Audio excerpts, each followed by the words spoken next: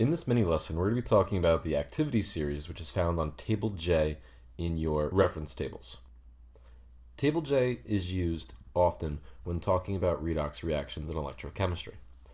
Looking at Table J, it's all about what we call the activity series, which is who is the more active or least active metal or nonmetal when undergoing a single replacement reaction.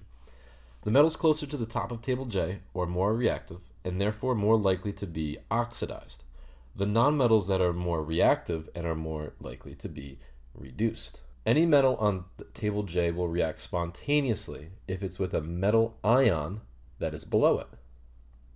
This means that the metal with a charge must be below the neutral metal for there to be a reaction. Remember, any element that is in a compound is the ion. So let's look at these questions. According to reference table J, which of the following will react spontaneously with a hydrogen ion? The answer is iron.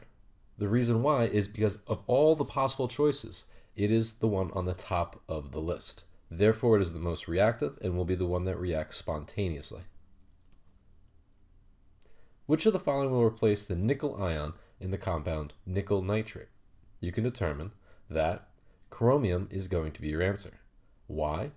Chromium is much higher up on the activity series, and it's above nickel. Which atom ion pair will cobalt metal oxidize spontaneously under standard conditions? Looking at these answer choices, you have to determine which metal and which ion would be the ones that would be 1. reacting and 2. spontaneous, meaning the atom is above the ion on table J. That would be choice B.